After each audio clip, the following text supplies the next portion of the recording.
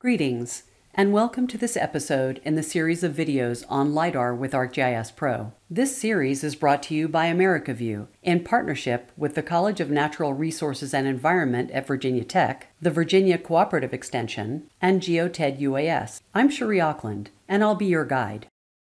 The prior three chapters introduced classification codes, interactive classification, and geoprocessing tools for classifying points in a LiDAR point cloud.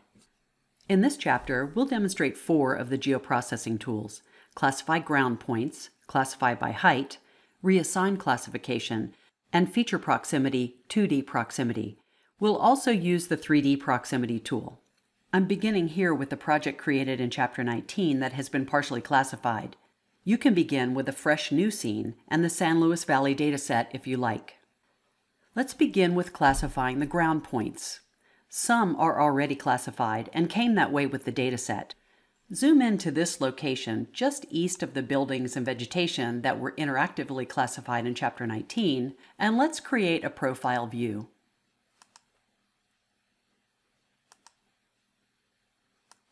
A variety of unassigned points are found in this region many that actually look like ground points. Let's practice on this limited extent to see how the tool operates. You can leave Profile View open and open the Classify Ground tool. Leave all of the default settings, but check the boxes in front of Reuse Existing Ground, and for processing extent, use Current Display Extent. The coordinates of the area are populated into the tool automatically. And let's run the tool. We see here in Profile View now more brown or ground points, and also in the scene. Comparing the statistics, from the beginning, we can see that significantly more unassigned points have been classified as ground. Let's zoom out and run the tool one more time, but for a greater extent. We'll go ahead and process the entire dataset for ground points. Leave all settings as default. Be sure you reuse existing ground. Change this to default, which will run for the entire set then, and run the tool. Viewing the statistics, we see that after the entire dataset has been processed, there is still a significant number of unassigned points. Now let's use a different tool, Classify by Height, to classify some of the vegetation. Zoom into the region from Chapter 19 where buildings and medium vegetation or trees were identified. But all vegetation in this scene is not yet classified. Now this is going to look a little different from when I started this video because I turned on eye-dome lighting to help visualize some of these LiDAR points. Let's create a profile view right across here. So I'm going to go to Classification, Create, and start my profile view here. Using the measure tool, we measured negative 3.16 meters of vertical distance between the identified point here to the ground and measuring the distance from what appears to be the bottom of a tree canopy, about 7 meters. So let's close this and open the Classify by Height tool.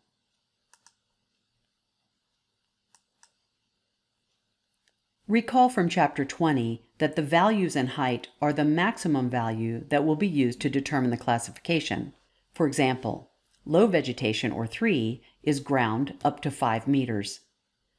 Medium vegetation, 4, is over 5 and up to 25 meters, and high vegetation, 5, is over 25 to 50 meters.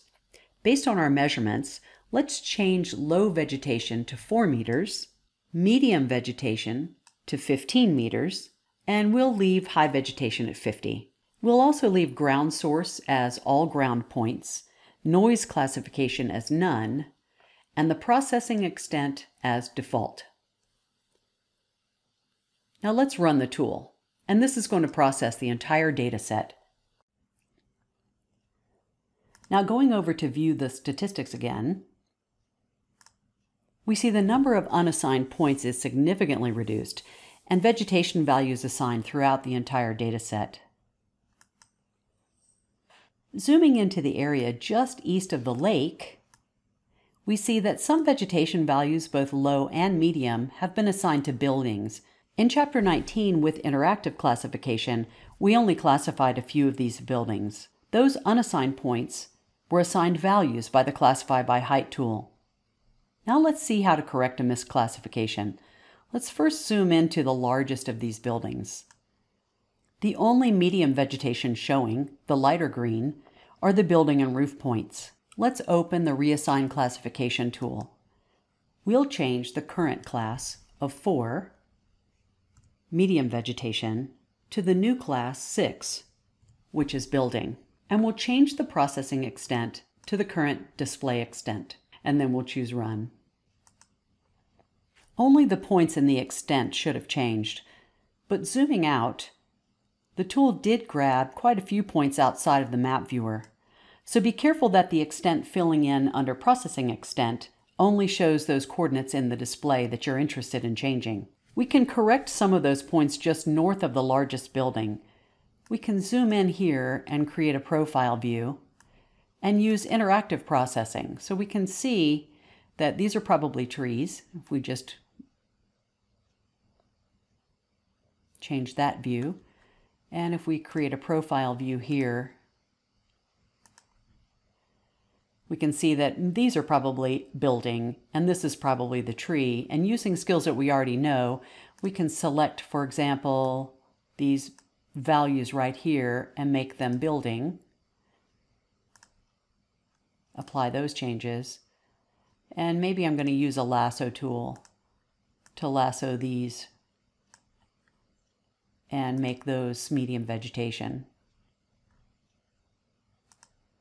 and apply those changes. Always be sure to go and uh, check your statistics. That's probably a, a building right there, part of the building right there. And so closing this, you could use interactive classification to fix up the rest of these points that we see right here. So we're going to use the change LAS class codes tool again, but this time we're going to change the processing extent. So I'm going to zoom closer into these trees right here that we see just to the north of the trees that we just edited.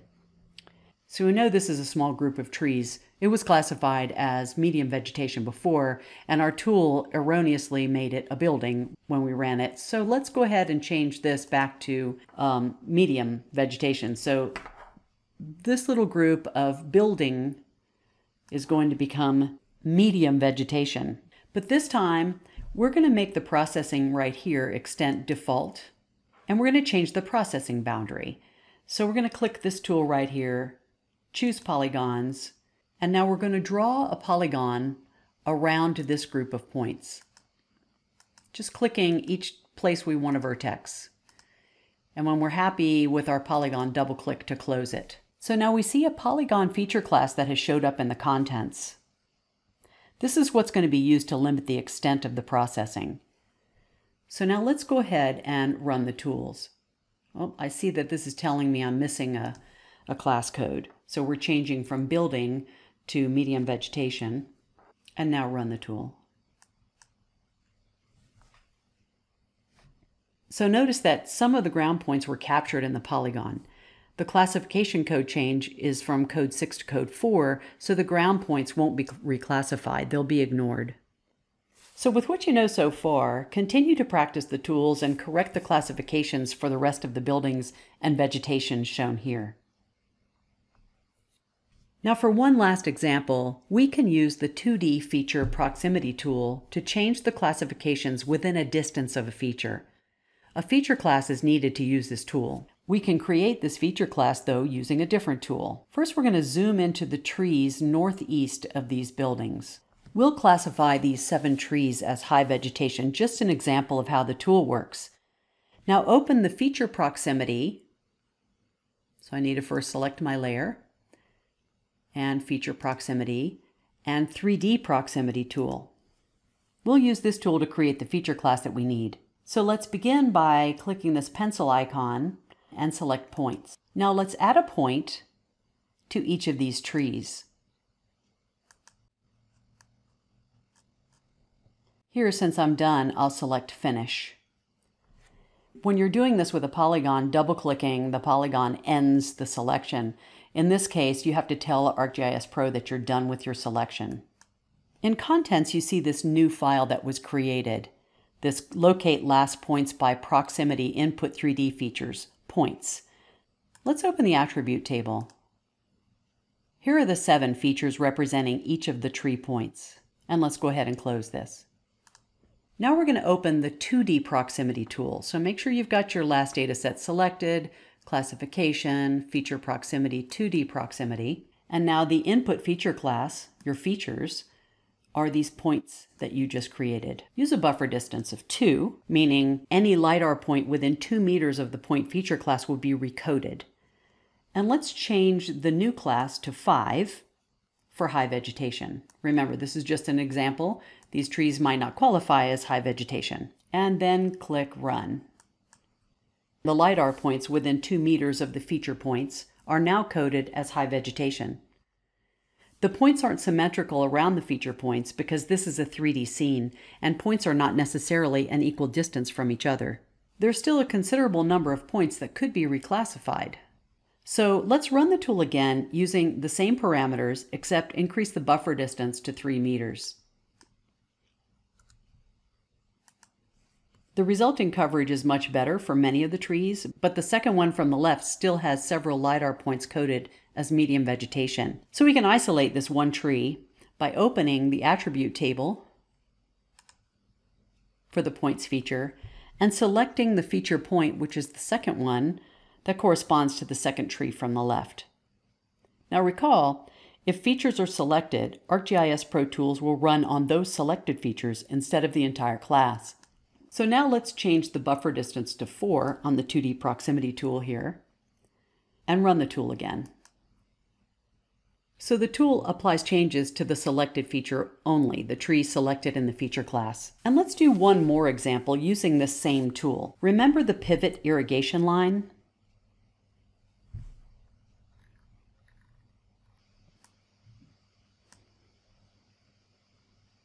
Zoom into that area the irrigation line that we see here has been coded as a mix of vegetation and ground points. Let's just take a closer look at it.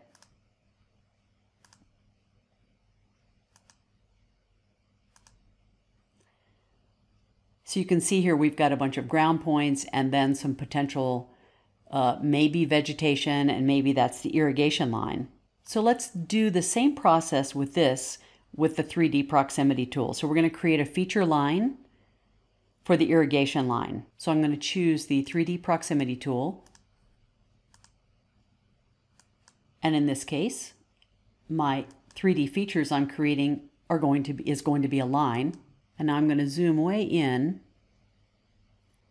And so for each of these points, I'm just going to click and create a line.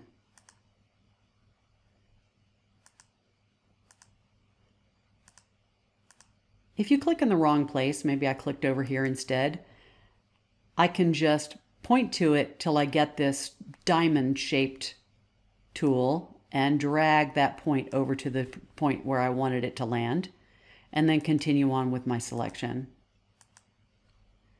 While I'm in this view, I can navigate using my middle mouse wheel. Holding down the middle mouse wheel lets me pan.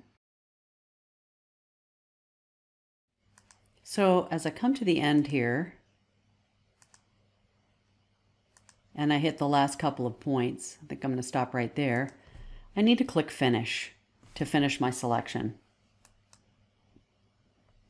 So now you see we have a new feature class shown up here in the contents. If I open this attribute table, you'll see this one polyline feature that I created uh, just now by clicking through all those points. Now, as before, to use this feature class we just created, we're going to select our LAS data set. We're going to go over here to the 2D proximity tool. We're going to use that line as input features to the 2D proximity tool. So that's our lines. And we're going to select all the points that are within a half a meter of this line to become our irrigation line. And our new class for this feature is going to be 16, which is one of the wire codes. There's really nothing that exists right now. for an irrigation line. And run. So I'm going to have to add these points. You may not have to, but um, they're not in my symbology. That 16 is not in my symbology. So I'm going to have to go over here to symbology. I'm going to add values. It recognized that I have selected 16 as a value. So I'll go ahead and add that. And now we'll be able to see those points that were selected as part of that um, 2D proximity feature class. It looks like I did a pretty good job. I may have missed one or two of these uh, low vegetation. And let's take a look at this in a, in a profile view. So it's evident that not all the points were changed, but some ground points were inadvertently changed like you see here. This is a prime candidate for interactive classification. It can be very useful to fix these small misclassifications.